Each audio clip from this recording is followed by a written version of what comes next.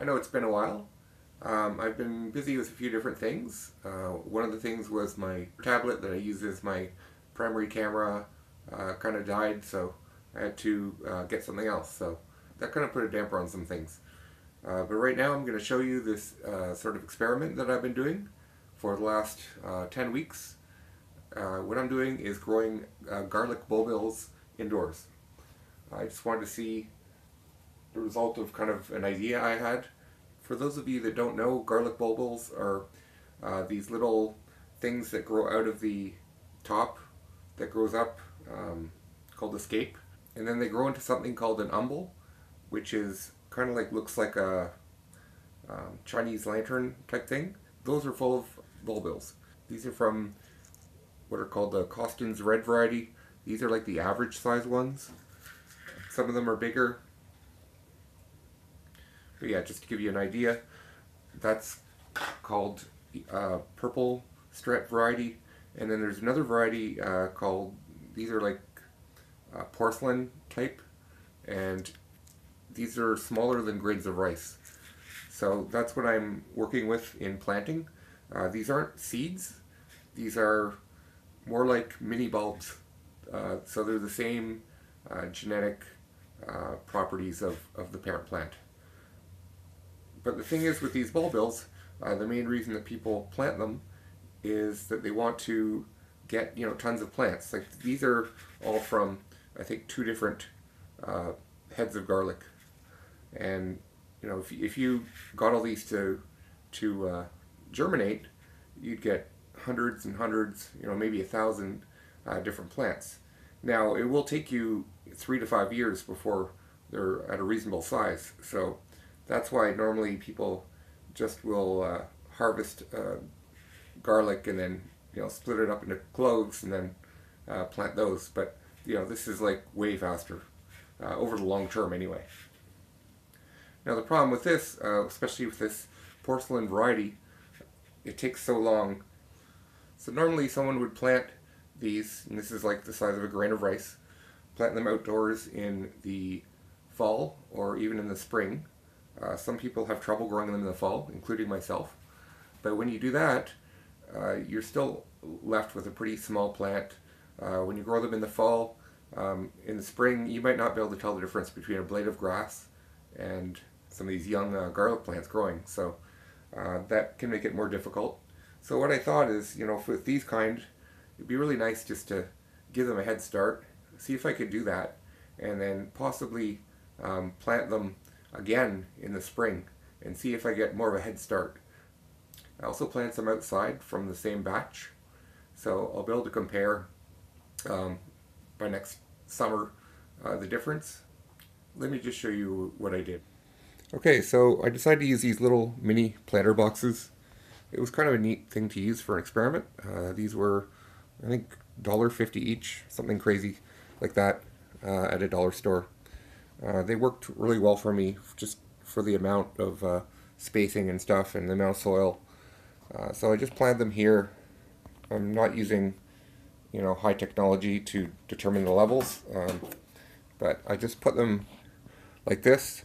Uh, these ones on the right are the Kostyn's Russian variety. Uh, they have a, a bigger bulbil, uh, definitely like three size, three times the size of uh, these ones, this is Leningrad, which is a porcelain variety, which are pretty much the slowest growing um, garlic.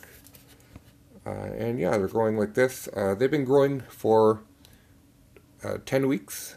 I originally had planned to grow these for 7 or 8 weeks, but I really wanted my uh, experiment to follow some things more properly, like uh, you're not supposed to harvest garlic unless about half the leaves have died. And I'm, I think, almost at that point. Uh, it might be a little bit premature, but well, I'm going away for a few days, so I'd rather just take care of this now. Uh, I don't know if, if, it really would have grown any more.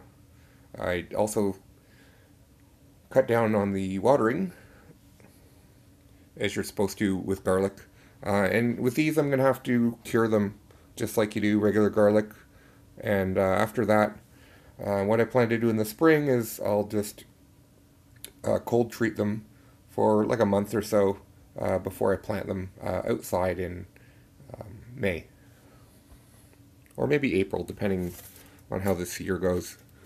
So you can see they grew pretty big, uh, considering they're indoors.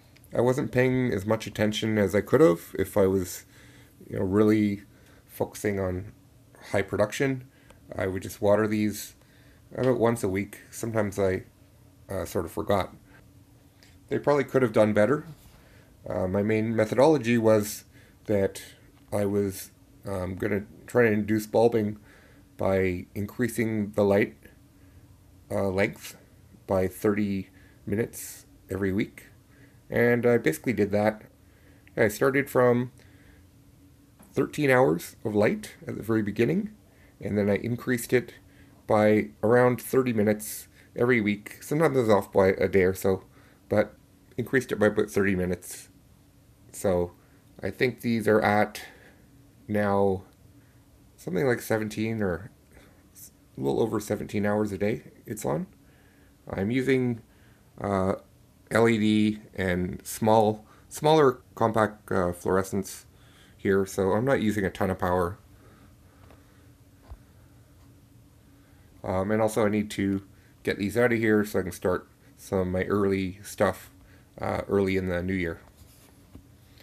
So I'm just going to get out my little mini shovel that I use for digging here. Uh, also eat dinner with this sometimes.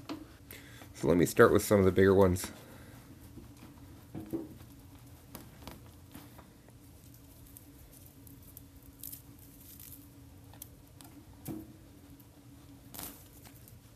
Okay.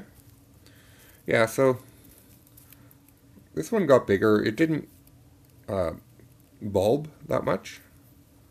Um, the main things that cause garlic to bulb are um, change in light and a change in heat.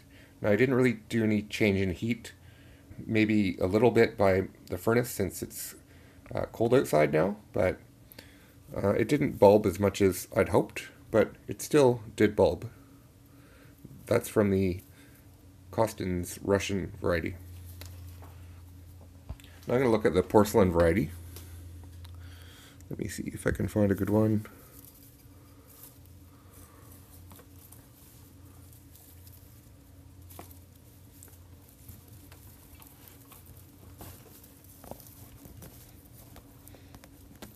Yeah, this soil's gotten really dry.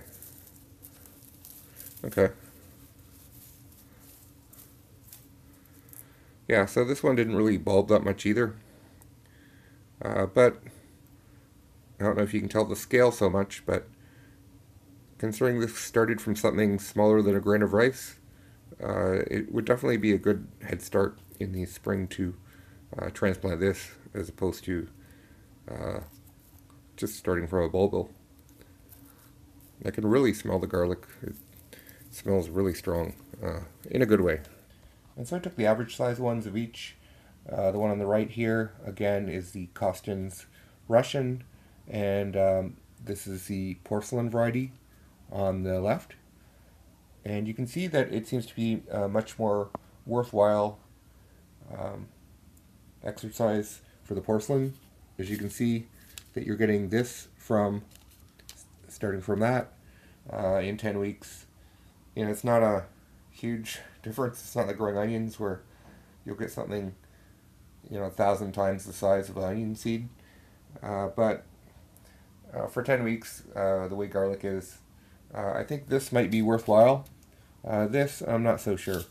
the way things, the way this type of garlic grows, it does grow pretty quickly, so not sure if that was really a success, but that was interesting to try.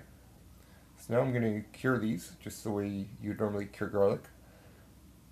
And uh, use paper bags and all that. And I'll uh, be replanting these in the spring. I think if I do something like this again though, I'll probably do a little bit of a cold treatment. Because um, that might improve the bulbing. Because definitely these didn't bulb as good as they could have. Um, so we'll see. And we'll see you next time.